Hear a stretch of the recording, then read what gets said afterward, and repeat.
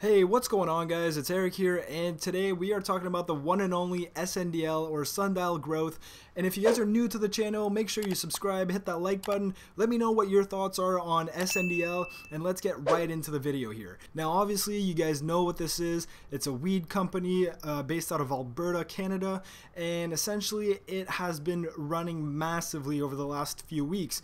So just a few weeks ago it was trading at I think around like 60 cents, it went all the way up to $4.86 uh, just the last week, and now we see that it's closed at $2.05. Now, because tomorrow on Monday the stock market isn't open uh, and we have a short week this week, I do see a lot of price action movement on this stock for the week.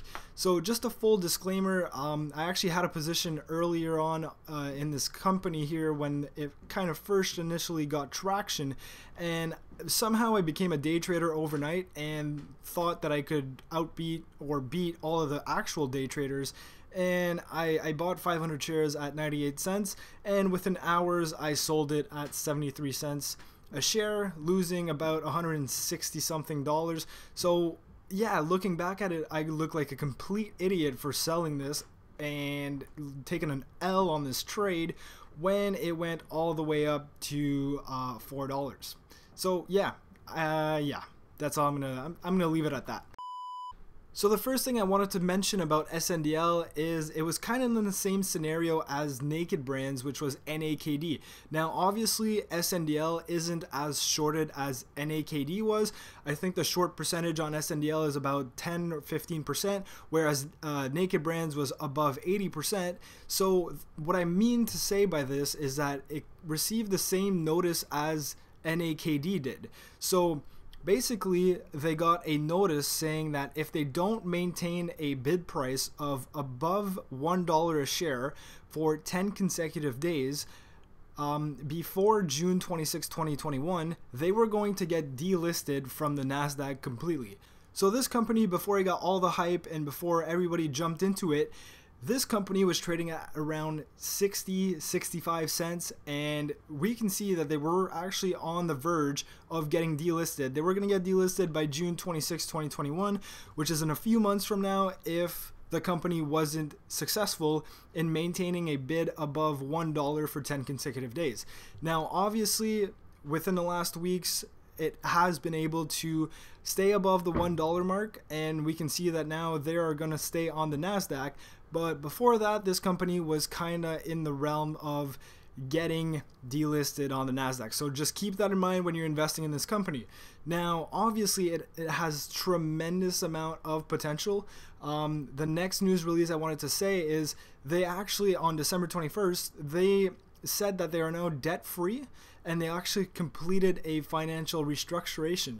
So the first thing here is that they're debt free, which is very, very good for a company like this because they're actually not even making revenue right now. So for them to be debt free at this early stage of a company is tremendous because most of these companies which are investing in weed or making uh, marijuana products are substantially going to be in debt because they need to build their product, build their company, so they are going to inquire a lot of costs without actually having revenue. So the fact that Sundial Growth is actually no longer in debt is very, very key here, and it's actually very good news for the company. So another thing I wanted to touch on here is their two most recent news release, which is the first one here basically announcing that they closed 100 million registered offering, which was basically them offering 100 shares of the Series A unit and some of the Series B unit as well, but they closed this at 75 cents a share and then the most recent news release on February 4th, we can see that they did a 74.5 million registered offering for 60 60.5 million shares of Series A and about 14 million Series B shares and they closed it at a dollar per share here. So 25 cent increase between the two offerings, which is very, very important. Now, something else I wanted to touch on was that the company, like I said earlier, isn't actually making money, so they're actually losing money currently, but they are debt free. So we can see that if I scroll down here, um, their net revenue is actually going down from the previous three months or the previous nine months. So again, I'm not saying this company is making any money by any means, but I, I don't think this really matters from a technical standpoint right now because people are very very excited about this stock. So I could go through all these numbers. There it's on their website. I would definitely recommend you guys to go check out these numbers before you do any type of investment.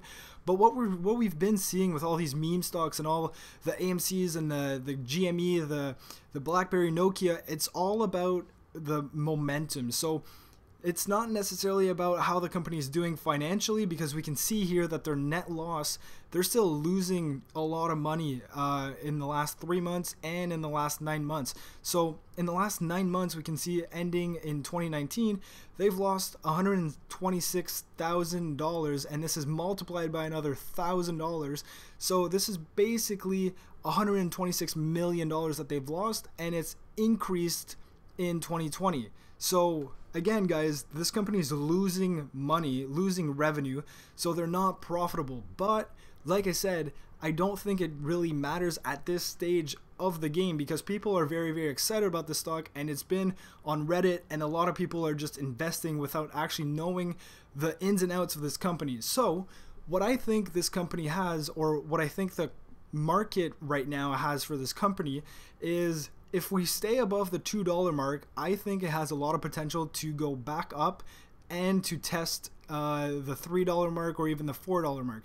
Now, obviously, I'm not a financial advisor. I'm not going to recommend you guys buying into this, but I would very, very much look for a break below the $2. And if it does break below $2, then I would wait until $1.50 and I would really, really hope to see some consolidation around $1.50 because if it goes all the way down back to a dollar very, very sharply, I wouldn't necessarily want to go back into this trade. So I'm going to be looking out for this trade. If it stays around $2 and then it starts moving up fast, maybe around the 210, 215 to try and test 225 to 250, I would definitely look for that type of move in this week. So again guys, not a recommendation. You guys can invest the way you want, but definitely take a look at SNDL, put it on your watch list and see how many or what price action we see this week.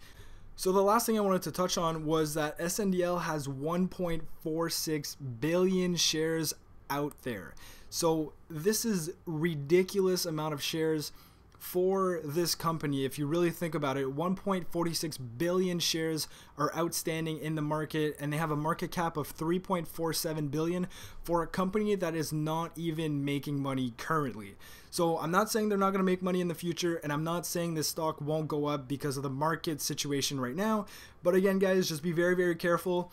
I would suggest taking profits when you can and not holding the stock forever unless you plan on holding this for a long-term investment. So that's going to be it for the video guys. We'll see what SNDL has in store for us for this week.